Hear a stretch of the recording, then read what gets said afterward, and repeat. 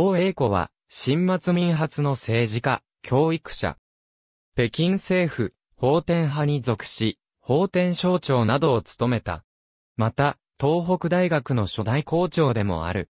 字は、ビンゲン。号は、鉄眼。祖籍は、山東省蓬莱県。21歳で、臨生となり、最初は、漢方薬店を運営していた。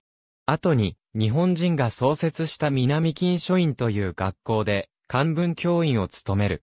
1907年、療養地方断層、遠近鎧の命により、王は、疎開での日本の警察行政を調査する。間もなく、療養で、刑務学堂を創設した。王は、ここで、警察辞任の要請に努め、後に、東三省総督長治辰巳からその功績を表彰されている。その後も、領洋刑務所長、南路巡防衛艦隊などを歴任した。侵害革命勃発に際しては、革命派討伐に従事している。中華民国成立後は、長治辰巳、遠近鎧の推薦もあって、大栄光は、各地で、税務部門の職を歴任する。1915年、法天省税務局長、金清上局長兼東根局長に昇進した。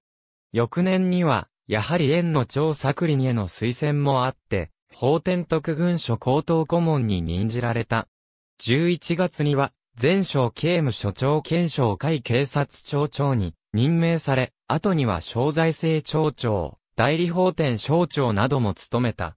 王栄光の行政手腕は、刑務、税務、実業の各方面で発揮された。特に刑務方面では、近代的な警察行政制度の導入により、緑林出身者が多かった法典派内部の粛清に大きく貢献している。王の統制に対してはユダマリンがいさかいを起こしたが、張作林は王を支持した。この他にも、財政改革や税務改革にも貢献し、法典派の財政状況を好転させ、その軍事力、政治力の拡張に貢献した。これらの実績により王は、法典派内部で、文治派の首領と目された。1920年7月から、張作林が、北京政府中央の政治闘争に介入しようとする。王英子は、民力給与を唱えて、これに反対したため、次第に、張から冷遇されていく。それでも1922年4月の第一次、笹口家戦争で、蝶が敗北すると、蝶は、失策を介護して、王を、法典省庁に任命した。翌年4月に、東北大学が創設されると、王が、初代校長を兼任した。軍備を再建した、張作林が再び、北京政府中央に介入しようとすると、王栄光はこれに反対したが、結局聞き入れられることはなかった。